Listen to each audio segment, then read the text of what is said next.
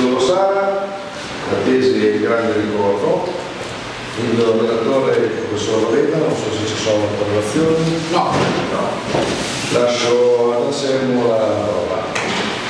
Allora, siamo a fine giornata, sta facendo lunga e intensa, quindi lascerò raccontare in buona sostanza Sara. Solo due parole per dire che questa, questa tesi è frutto di una riflessione profonda, in una, una sua esposizione ce lo racconterà.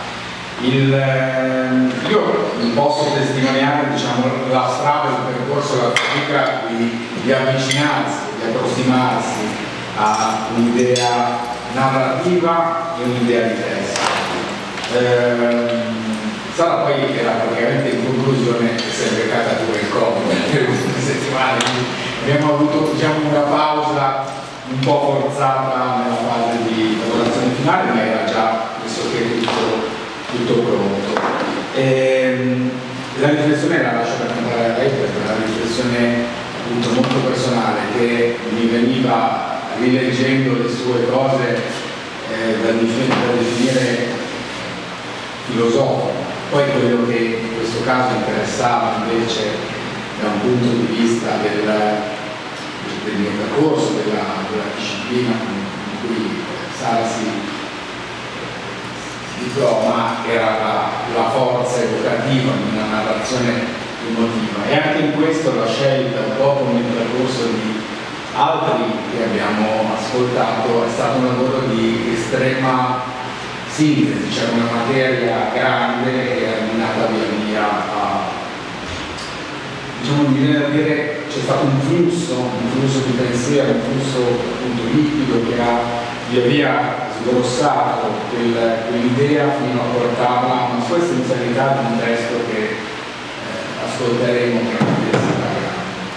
e un testo che però è un testo poetico, un testo poetico che si presta a essere letteratura illustrata, letteratura visiva. Prego Sara. Ringrazio il professor per la presentazione e ringrazio tutti in anticipo per l'attenzione. Come ha promesso il professore, il grande ricordo è il progetto di un libro illustrato rivolto a un pubblico di età differenti, che ha alla sua base una riflessione sulla natura del corpo questa riflessione nasce da una singola suggestione visiva, ovvero una frase scritta su un adesivo incollata alla cassetta postale che ho fotografato Urbino il 18 marzo del 2018. Di tutte le cose apprese, le cose perse. Il concetto per me fu da subito chiaro. Uh, se fosse esistito uno strumento in grado di misurare il peso emotivo delle cose perse, dunque dei ricordi, mettendolo a confronto con il peso emotivo delle cose apprese, sarebbe senz'altro sprofondato sotto il fardello delle memorie. Eh, ha un così eh, ingente peso emotivo, non può poi che corrispondere, circoscrivendo idealmente l'area del pensiero, un'altrettanto superficie ingente occupata dai suoi ricordi. Così a seguire si potrebbe determinare anche un criterio temporale, a maggior densità di ricordi all'interno dello spazio del pensiero equivarrebbe un tempo maggiore in cui i ricordi sostituiscono la concezione di nuove idee. Eh, vista l'invasività del peso emotivo dei ricordi e del tempo speso a dedicarcisi, l'autorevolezza di un adesivo su una cassetta postale sarebbe quantomeno potuta, o meglio dovuta, essere messa in discussione. Ma ciò non accade per anni anzi a rincarare la dose di convinzione secondo cui le cose perse erano da ben distinguere dalle cose apprese in una seconda citazione, stavolta di Neruda.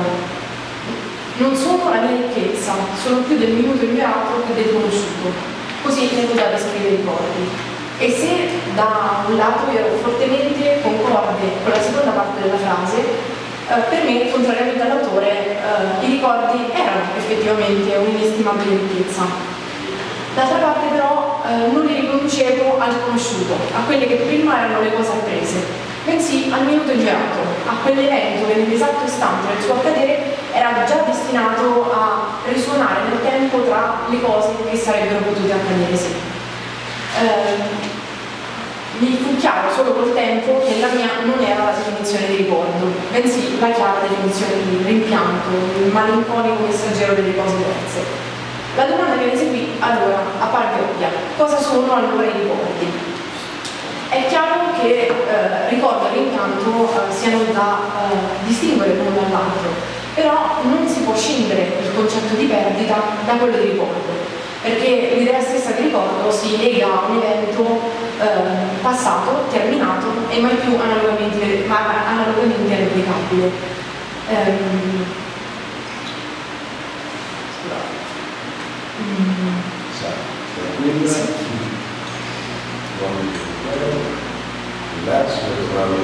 No, no, Se circoscriviamo però l'idea di ricordo alle sole percezioni emotive del singolo, eh, rischiamo non di definirlo, bensì appunto di ricondurlo al sentimento prevalente che ognuno di noi associa al proprio passato. Se per me infatti i ricordi erano prevalentemente riconducibili alla malinconia, per altri potrebbero essere prevalentemente riconducibili alla tristezza, alla contentezza, al dramma e così via. Ritorniamo allora alla definizione iniziale, che ero convinta fosse la definizione di ricordo. Di tutte le cose apprese, le cose perse. Uh, un altro errore um, immenso fatto durante la mia attribuzione di senso a questa frase è stato senz'altro quello di ignorare del tutto il ruolo delle cose apprese. Uh, infatti le stesse cose perse non sono altro che eventi che sono entrati a far parte della nostra memoria, diventando tutti gli effetti delle cose apprese. Dobbiamo aggiungere poi che senza le cose apprese, dunque la nostra memoria, non saremo in grado di compiere le nostre più banali azioni nell'ordine quotidiano. Uh, Ricordare dunque significa attingere con la mente a una serie di costruzioni che nel loro insieme eh, edificano la nostra storia e plasmano la nostra identità. Anche dalle cose apprese però non possiamo scindere la percezione soggettiva. Eh, positive o negative che siano, la definizione del ricordo non va ricondotta alla propria percezione. Dunque la domanda rimane la stessa. Cosa sono i ricordi? Ad aiutarci è l'etimologia latina. Ricordare deriva dal latino appunto re indietro, e coro corpus, cuore, richiamare il cuore. Dunque il ricordo è necessariamente un mezzo attraverso il quale richiamiamo il cuore un evento passato, un veicolo in grado di donare un aspetto di immortalità alle cose morte. Un così grande mh, veicolo, così grande mezzo però porta con sé un altrettanto ingente rischio. Non importa che ad essere ricordati siano degli eventi dei quali rimpiangiamo l'esito, eh, il tempo con il quale, eh, dedichiamo, con il quale ci dedichiamo ai ricordi può essere eh, comunque eh, occupato smisuratamente. In un mondo ideale l'etimologia latina giungerebbe di nuovo il nostro aiuto, perché una diversa accezione hanno quelli che ora sono per noi sinonimi, i verbi dimenticare e scordare. dimenticare equivale a non mantenere nella mente, mentre scordare significa far uscire dal cuore.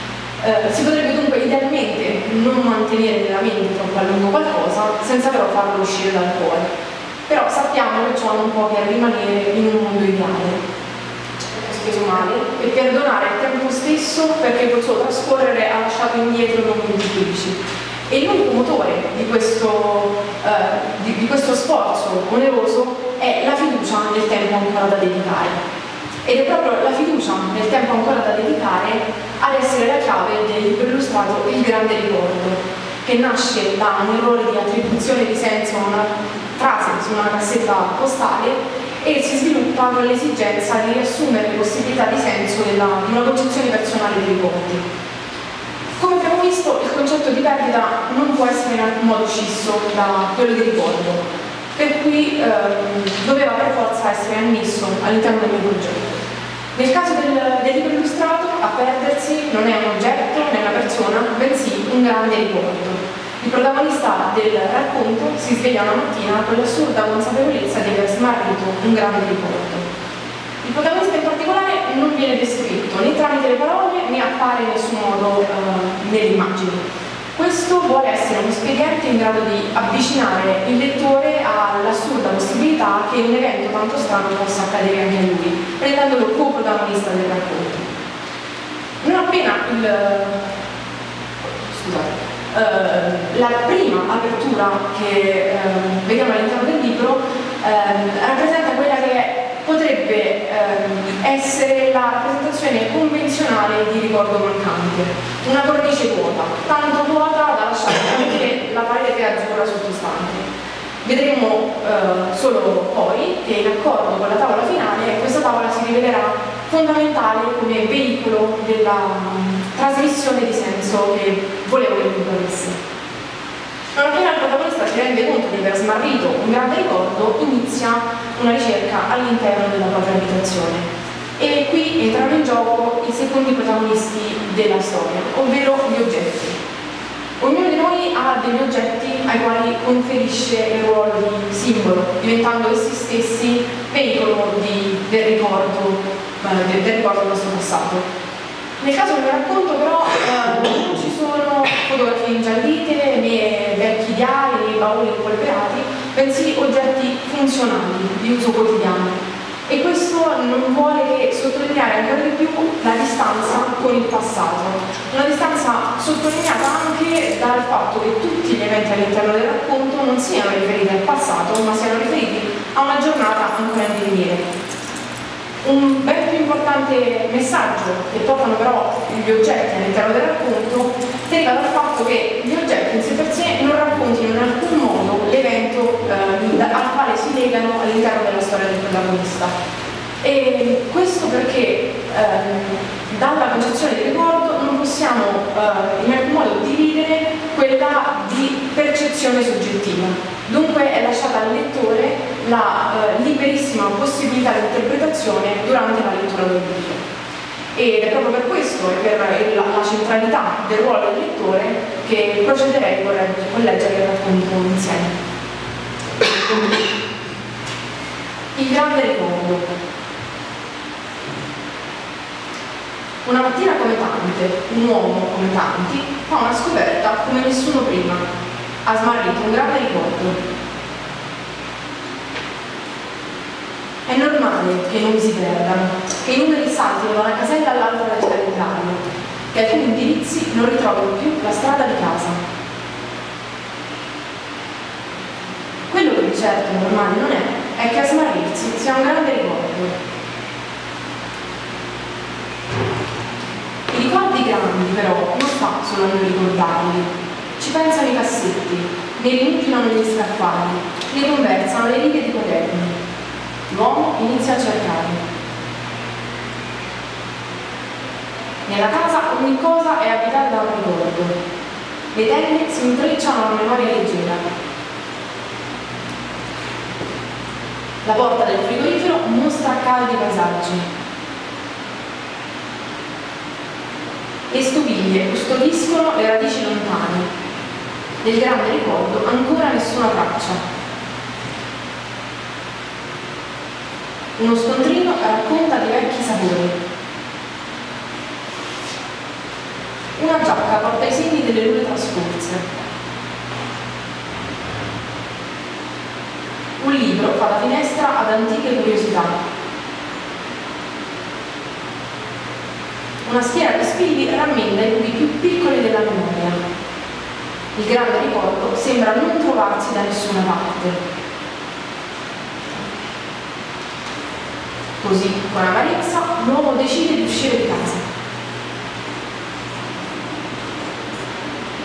Le pareti del cortile fanno da cornice a una porzione di cielo. Che giornata strana, pensa. Una giornata da ricordare. Un grazie. Ed è così che si conclude il libro illustrato e per concludere invece la presentazione ho voluto aggiungere un frammento di una poesia di Antonio Machado che si intitola Il limone sospende in abbandono che penso riassuma in pochi versi il senso che volevo il mio libro illustrato trasmettesse. Fluttua nell'orizzonte della sera questa aroma d'assenza che all'anima splendente dice mai e dice al cuore spera. Grazie e mi rendo disponibile adesso.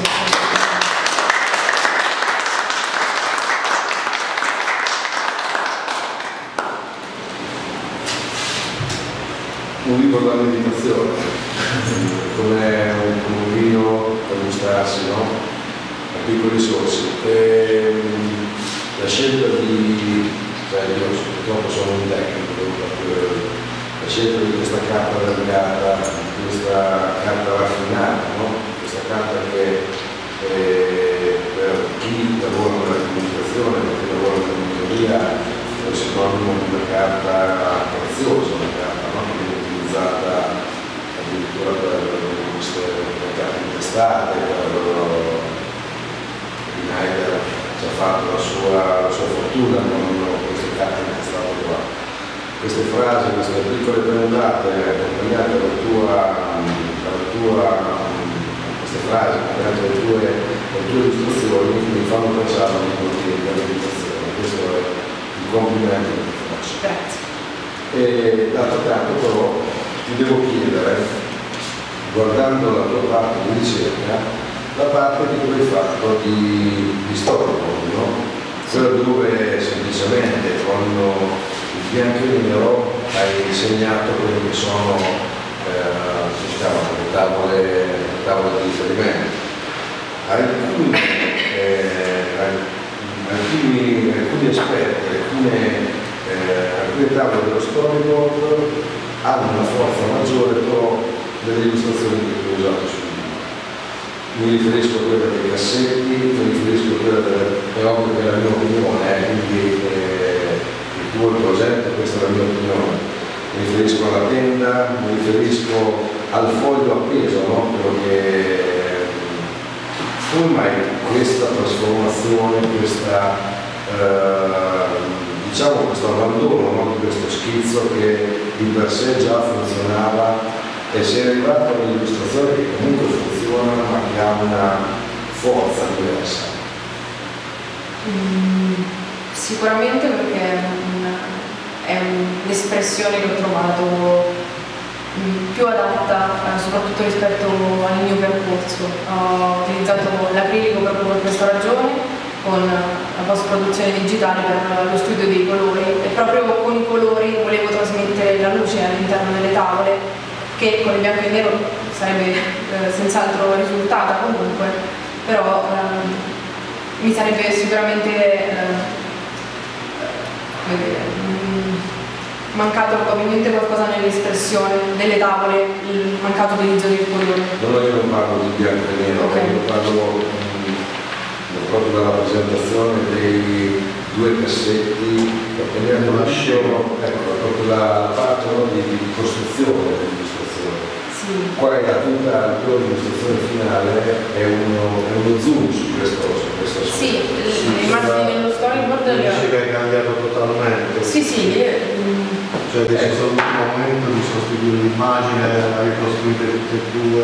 Sì, in realtà il, il fatto stesso che il, ci siano degli oggetti all'interno del racconto mi ha dato la possibilità di cambiare alcuni oggetti rispetto a una forza del testo. E quindi pensavo che potesse funzionare di più la scatola perché nel testo è proprio citata la scatola come rappresentazione di grande ricordo di contenuti di grande ricordo la luce emerge, quindi era solo ecco, una mia impressione che voleva trovare la tua eh, riscontro a questa domanda. Eh, Sara, altra, altra, ci hai parlato dell'abilità, no? Hai sì. parlato di post-produzione io come tecnico devo eh, però constatare che la luce si vede ma non, queste illustrazioni non hanno. È un elemento colpa dello stampatore o queste illustrazioni sono volute con questo effetto fluo, fluo con questo effetto, come posso dire, eh, nebuloso, con questo effetto non avendo visto le tavole originali. Certo, certo.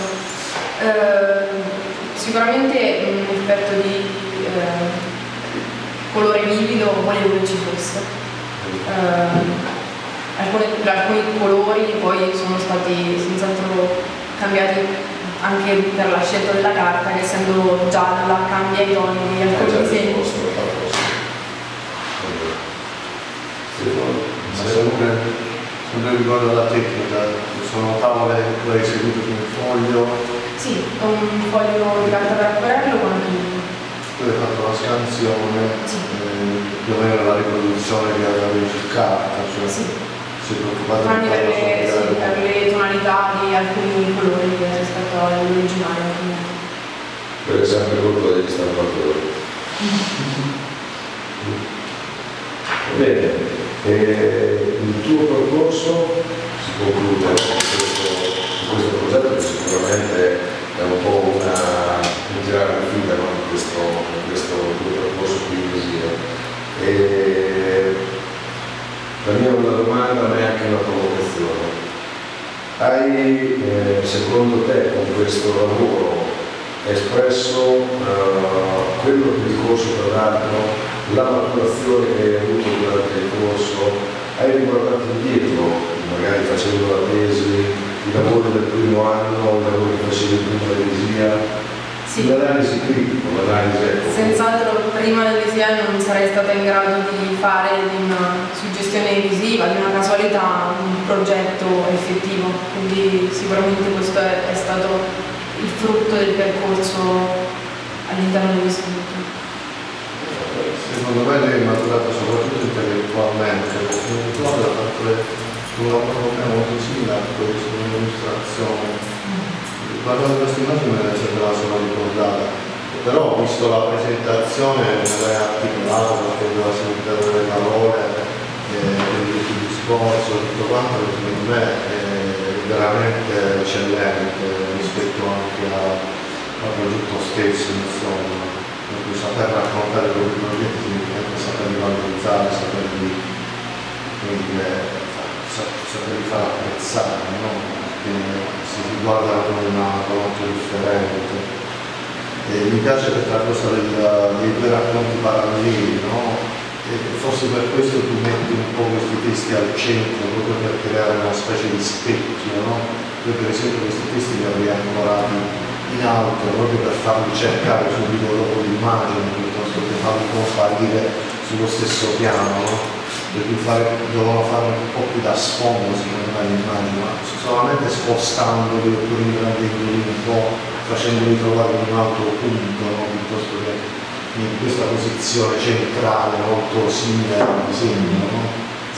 Cioè, appunto, per dare per forza per fare nascere di più il disegno, no? che rimane comunque rispetto alle parole, anche se le parole sono poetiche e tutto quanto non so scritte bene, rimane comunque una, una, comunque un'attrazione maggiore perché noi guardiamo prima l'immagine, prima di leggere, no? Perché sono più, ci ne disegniamo di più, comunichiamo di più, siamo più abituati a leggere prima le immagini, eh, quindi vi avrei dato due posizioni differenti per dare più valore alle illustrazioni, insomma, An- ma soltanto oppure per ritardare il tempo di lettura, per questo particolare Io invece da te vorrei una, prima di lasciarti andare una promessa, perché ne sta una copia in bianco e nero con le illustrazioni dello storico. Andando a trovare una carta magari coffrata, una carta che abbia una nudità, una superficialità insomma importante. E poi magari, che ne so, tra qualche tempo da me con le tue impressioni su questo consiglio da vecchio stampatore che ho trovato. Possiamo fare una mission più formato, quindi dai, Puoi andare a Sara, che ci richiamiamo. Grazie.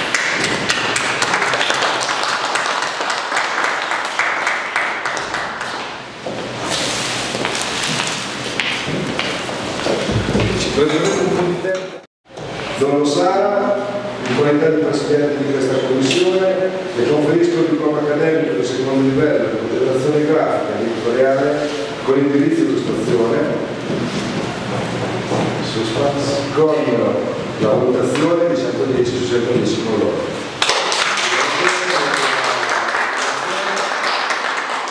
la profondità della riflessione intorno al tema del ricordo e la capacità di declinarlo in un progetto narrativo e motivamente intenso. Grazie.